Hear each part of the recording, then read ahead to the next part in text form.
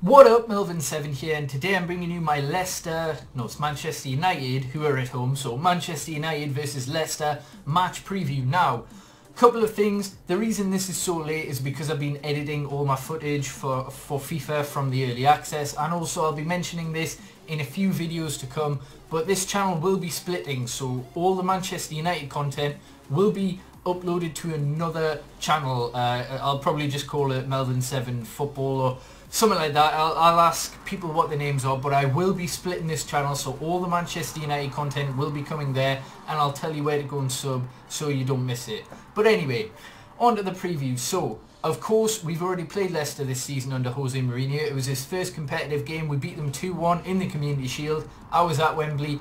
Fucking loved Zlatan's winning header. But aside from that, we definitely need a win. We've had two back-to-back -back defeats in the Premier League against City and against, um, I know this, and it's just went out of my mind. How the hell have I forgot it? Watford. knew I knew it, but just couldn't get it in, out, in, out. I don't know what the hell I'm talking about, but anyhow, their main threats are fairly obvious. Like Jose Mourinho said in his match, uh, I was going to say match preview. He doesn't do match previews, he does press conferences. What he said in that is exactly what you would expect with Leicester. They are very easy to analyse, but they're not they're not easy to stop. Wow, how many times am I going to fuck up in this video? They are not easy to stop. That's what I was going for, yeah. So Vardy, Mahrez, they are their main threats. Of course, they've got their new signing Slimani, who scored two on his debut, two very good headers. And I don't like that. Like we, we even though we have a very tall team, are so bad defensively and attacking attackingly at uh, set pieces. Like it's ridiculous. So I'm not looking forward to come up, coming up against Slimani, especially when you partner him with Vardy. We're gonna have a handful on our on our a handful on our hands. Oh my god, uh, this is a record for the amount of fuck ups I've had in this video. I apologise. But anyhow, for Manchester United, the only injury concern I think we have is Martial, who is out of contention. Mourinho confirmed this. Mkhitaryan and Shaw are available for selection, but if Mkhitaryan is not fully fit, I don't want to see him start. I don't want another setback like we got at Manchester City. So if he's fully fit, then he has to start because he is probably, when he's on full form, our best player. Certainly one of our best players. If you've seen for Borussia Dortmund, he's, he's the glue that stick that team together, stuck it together. I swear, honestly, the, the, moving on, right, yes we, we need Mkhitaryan if he's fully fit. So the lineup, I'm going on the assumption that Shaw and Mkhitaryan are fully fit because they are available for selection. So in goal, David De Gea. Right back, Valencia. Two centre-backs, Bailly and Smalling.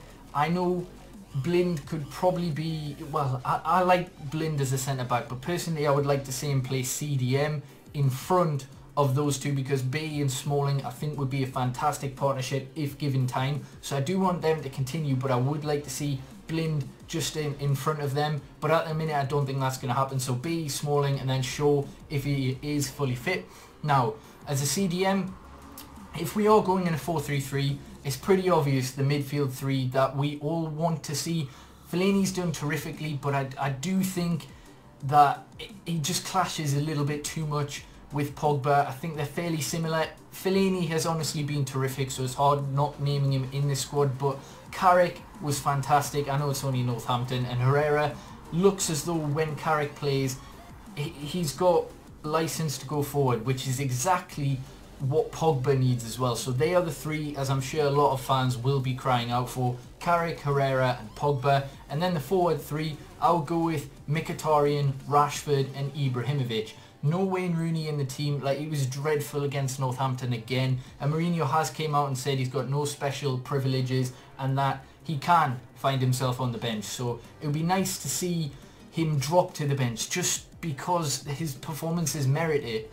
So um, that would be the team I go with. Of course, there, there are other players or other formations. If we do go 4-2-3-1, then I, I would probably say Carrick, Pogba, and then have um, Mkhitaryan, Rashford, and I'd probably say play Herrera in the number 10 or Mata and then have Ibra up top. But I'm going on the basis that we're going to go 4-3-3. Now, obviously, I've already went through Leicester's uh, well, they're key threats, but they've got many others. They've got uh, Danny Drinkwater, Wes Morgan's a fantastic defender. They've got Peter, I was going to say Peter Schmeichel, Kasper Schmeichel in goal. He's not quite Peter's level yet, but uh, they, they've obviously got a very solid team, and they're going to be a very hard team to beat. But I do think we are going to win, like in the Community Shield. I think it's going to be a 2-1 victory, but we really need to eradicate individual errors. That's what's cost us in these games, and we need to actually show energy. Pogba's been rested now, Bailly was rested, De Gea was rested,